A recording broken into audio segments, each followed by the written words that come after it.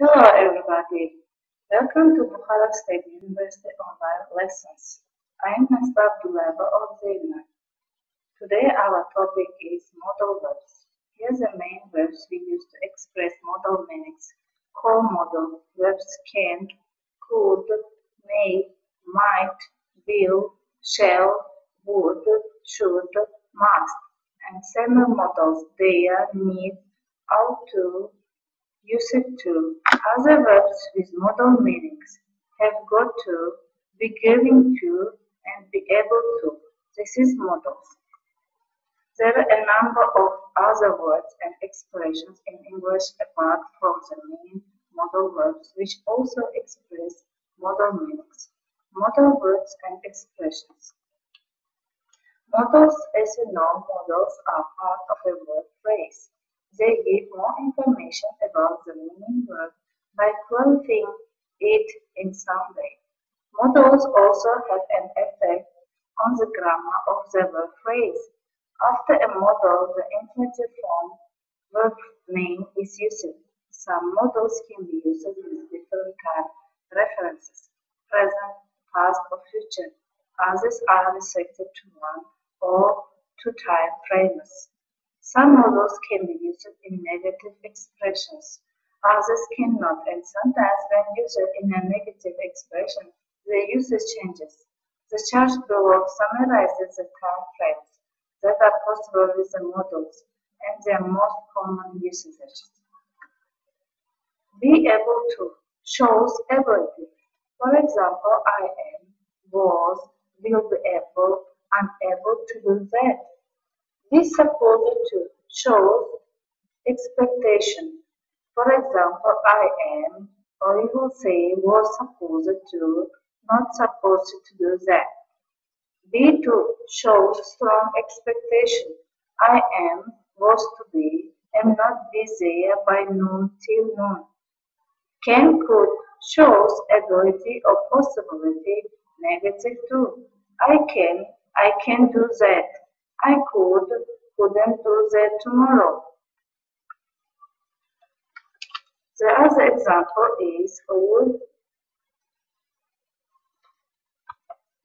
Can, cannot, ability. It is affirmative, negative, and questions has. For example, can, can't. For example, you can dance. If you can, you can um, give example, I can dance. If you can't, you can say, I cannot dance. If you play the piano, you can play the piano. You can say, I can play, I can play the piano. If you can't, you can say, I can play the piano. For example, there is given pictures for you and you say, if it is correct, you will say I can. If you if you has pictures X cross and you will say you can't. For example, it is swim. Yes, you are right. You can say I can swim. Mm -hmm. Take photos. It's not correct. That's why you can't take photos. These are pictures. It is I can play the piano. Mm -hmm. Yes, you are right. And the fourth. If you can, you can say, I can ride a bike. And the fifth pictures. For example, cook. I, you can't cook. For example, I can't cook, you can say. And uh, dance is right answer. That's why you can say you can say, for example, I can dance. And the third pictures is, for example, read a horse. It's also right answer. You can say, I can't ride a horse. Uh -huh. Then the final sentence is right. If it's not right answer, you can say, I cannot write. And the next, Mr. Black can cook. Mr. Black cannot write. If it's true, you can say I can. For example, can Mr. Black cook? Yes, Mr. Black can cook, you can say. What the second? Uh, and you can say yes, he can also. For example, can Mr. Black write? No, he can't. And then can, cannot. For affirmative sentence, you will say I can, you can, he can, she can, it can, we can, you can, they can.